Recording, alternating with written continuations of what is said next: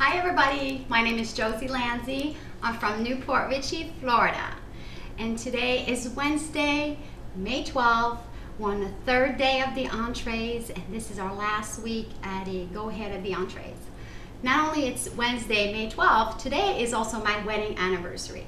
So I've decided to share my romantic dinner with you. And it is a French dish and it serves two and it's called Coquille Saint-Jacques.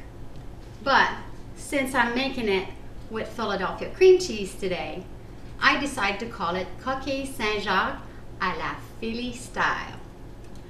So let me get started and show you how it goes.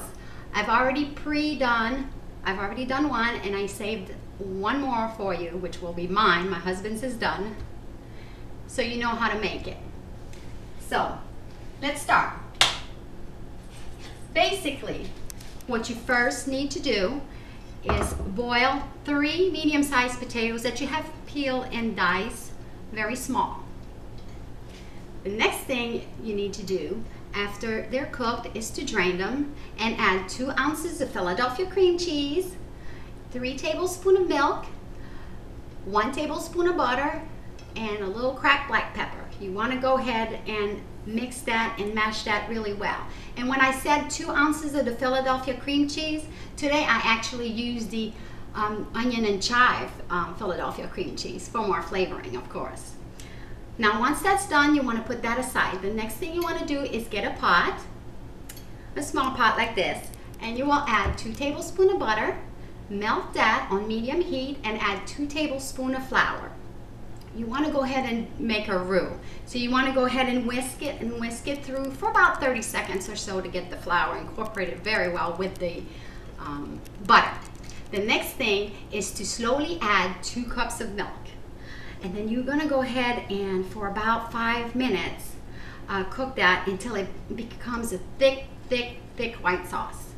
Once you have done that, um, usually we use um, chicken base, but in this case, uh, I'm going to go ahead and use the salmon Philadelphia cream cheese, which gives it a wonderful taste and will go really good with the seafood we're going to incorporate in this coquille Saint-Jacques. And by the way, coquille means shell in English. And in France, I know they serve them in these shell-shaped um, little containers for you. But today we're going to use ramekin. Okay, so, so far we have a bechamel sauce, a white sauce, that we've added um, the three ounces of the salmon Philadelphia cream cheese. Yum. Okay, so you have your sauce all done. The next thing you want to do is add some cooked, ready to go crab meat. And then you want to add some shrimp Yum, this is starting to look really good. And you want to incorporate all that together. And then you're going to add some green onions for some color and a little kick to them too. It's going to be delicious. Okay, you want to mix all that together. And then you want to take a ramekin, like so, like one of these little cute things. And you want to go ahead and pour in your bechamel sauce, seafood sauce, into your ramekin. Just like this. Okay, now, the, the next thing you want to do after you've filled your little ramekin like this, I hope you can see this, is to go ahead and pipe some potatoes. Now these are the onion chive mashed potatoes with Philadelphia onion chive cream cheese. So we have a lot of Philadelphia cream cheese in here. And what you're gonna do, I'll show you here in a minute, fill that bag up and move this out of the way so you can see. Take a piping bag like so. You can also use a plastic bag, but these tend to be still hot, so um, gotta be careful. And then you wanna go ahead and just go around the edge and create like a little border. And you're to raise that little border a little bit taller than a ramekin. It's to look very pretty and when it bubbles and cook in the oven it's not to overflow. So there you have it.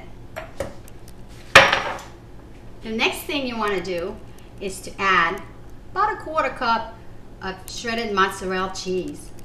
Yum, more cheese. We're going cheese crazy here. But you know, you're going all out here, especially for me. This is really good on a romantic evening or an anniversary, like wedding anniversary like mine.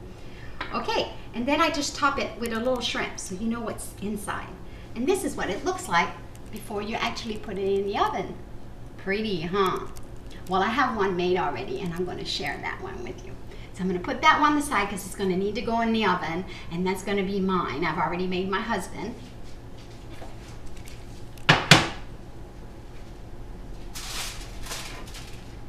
Okay, I already put a little tent on it because I wanted to keep it warm. But I also want to show you, it's still hot, what it looks like when you take it out of the oven. Looks like this. See how pretty that is? The colors are beautiful. Oh my, it smells so good. Now I'm just gonna garnish this with a little green for Paula. It's gonna make it look pretty too and give it a little color. Just like that. And I'm gonna plate this and show you the presentation. Oh, how pretty that looks. Move that to the side. Move everything out of the way. And move this all the way here. And then of course we're gonna be having a glass of wine and toasting to a wedding anniversary. And let me just go ahead and focus in so you can see that. Take a look at this. Coquille Saint-Jacques à la Philly style. That's going to be delicious. Just delicious.